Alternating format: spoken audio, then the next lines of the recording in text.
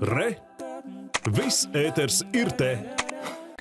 Nākotnes pilsēta tie nav futuristiski debesskrāpji vai lidojoši auto, bet gan klimata neitrālas pilsētas. Tā vismaz ir pārliecināti Dānijā, Kopenhāgenā. Kopenhāgena ir pirmā galvaspilsēta pasaulē, kas oficiāli paziņojas, ka 2025. gadā, tātad jau pēc pieciem gadiem, kļūs klimata neitrāla. Kā Dāņiem veicas īstenojot šo ambiciozo nākotnes mērķi, skaidroja man kolēģi Ilze Nagla.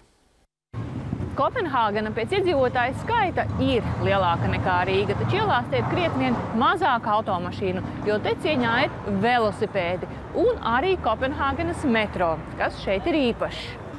Visās līnijās šeit kursē metro, kuriem nav vadītāja, un apsēžoties pirmā vagona pašā priekšā, sajūta ir mazliet seriāla.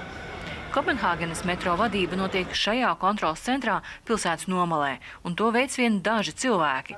Un statistika liecina, ka metro attiešanas laiki ir daudz precīzāki nekā tad, ja to darītu vilcienu vadītāji. Un Dāņi to novērtē. Visu laiku redzam strauju pasažieru skaita pieaugumu. Kopenhāgenā notiek tas pats, kas visur pasaulē. Cilvēki pārceļas uz pilsētām, un mums jānodrošina, lai viņi nesāktu izmantot savu automašīnu pilsētā.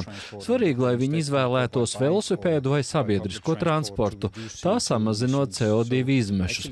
Visvairāk jauno pasažieru nāk no jauniem rajoniem, kas attīstās un tiek savienoti ar metro sistēmu. Viens šāds nākotnes rajons ir Nordhauna, milzīgs celtniecības projekts ostas bijušajā industriālajā teritorijā, kur dzīvos 40 tūkstoši cilvēku.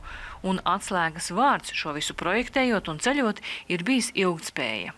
Ēkas te tiek būvētas domājot gan par enerģijas taupīšanu, gan lai izveidotu cilvēkiem draudzīgu vidi. Rajons tiek veidots tā, lai viss būtu tikai piecu minūšu attālumā no vietas, kur dzīvojat.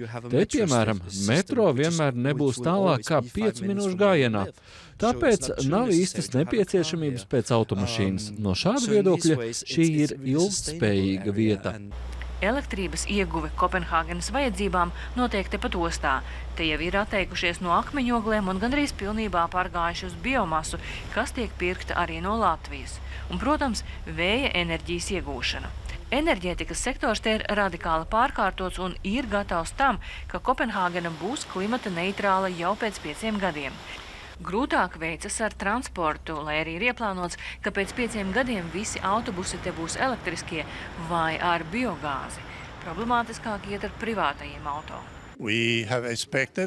Mēs bijām gaidījuši, ka elektriskie auto attīstīsies vairāk, kad visu šo plānojām 2011. un 2012. gadā. Arī pati nozara tā domāja, bet tas nav noticis. Tur mēs atpaliekam. Mēs ceram, ka būs progress, bet pagaidām tas ir nepietiekams. Klimata neutralitāte pēc pieciem gadiem ir tikai viens no Kopenhāgenes mērķiem. Pilsēta grib, lai 75% gadījumu cilvēki pārvietotos ar kājām, ar riteni vai sabiedrisko transportu. Atkritumu šķirošanai te ir astoņi dažādi konteineri. Plānots uz pusi samazināt to maisaimniecību skaitu, kas cieši no pārmērīga pilsētas trokšņa. Pilsēta grib, lai vairums kopenhāgeniešu būtu iesaistīti dažādās maiņas, dalīšanās un otrreizējās lietošanas projektos. Nākotnes pilsēta solās būt bez lidojošiem auto, bet ar sociāli aktīviem ritiņbraucējiem un metro, kas brauc pats. Ilze Nagla, Ingus Graudiņš, Latvijas televīzija no Kopenhāgenes, Dānijā.